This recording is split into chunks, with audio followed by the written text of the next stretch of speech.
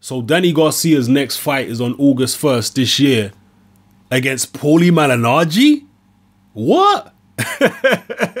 what the fuck has happened to Danny Garcia, man?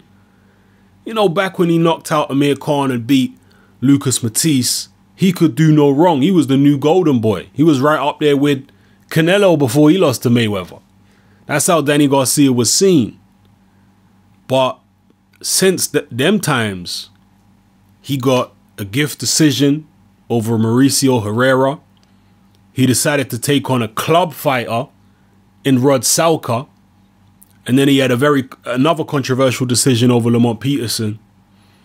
And even if you rewind back a little bit, he obviously fought a washed up Zab Judah. And he had a rematch against a washed up Erik Morales. And now he's going to take on Paulie Malignaggi for his first fight at 147 pounds. Malignaggi's literally being dug up out of his grave by Uncle Al to fight Danny Garcia. I mean, Malignaggi's like the new Zab Judah, and he became the new Zab Judah when he beat Judah. now Malignaggi's the guy they dig up out the grave when they want to give someone an easy title defense. Although this won't be a title defense, but you know what I'm saying. Zab Judah was just getting constant uh, title shots against all types of different champions.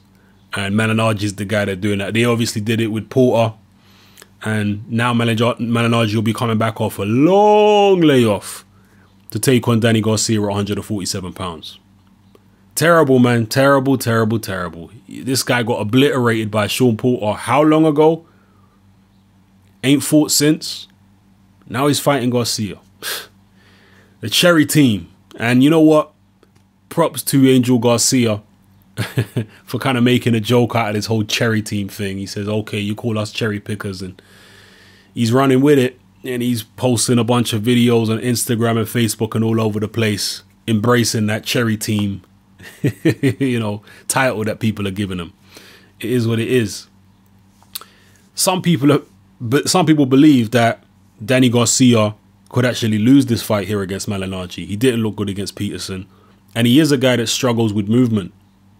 So it's not beyond the realms of possibility, but I don't think so. I think Danny Garcia is going to win this fight. And I think he's going to win it pretty decisively. Paulie's coming off a long layoff. He took a terrible beating against Shawn Porter. And even though Danny Garcia is slow on his feet and he does struggle with movement, I don't think Paulie's got enough left to be able to pull it off against Garcia. Don't get it twisted. He'll be motivated and excited for this opportunity, but nah, man. I can only see Danny Garcia winning the fight.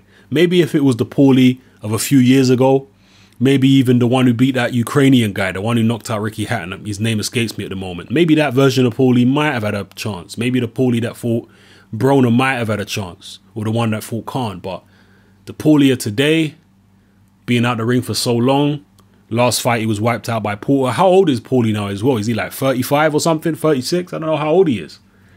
I can't see him beating Danny Garcia, and it's just a gimme fight for Garcia. But maybe you disagree. Drop your comments below. Let me know how you feel.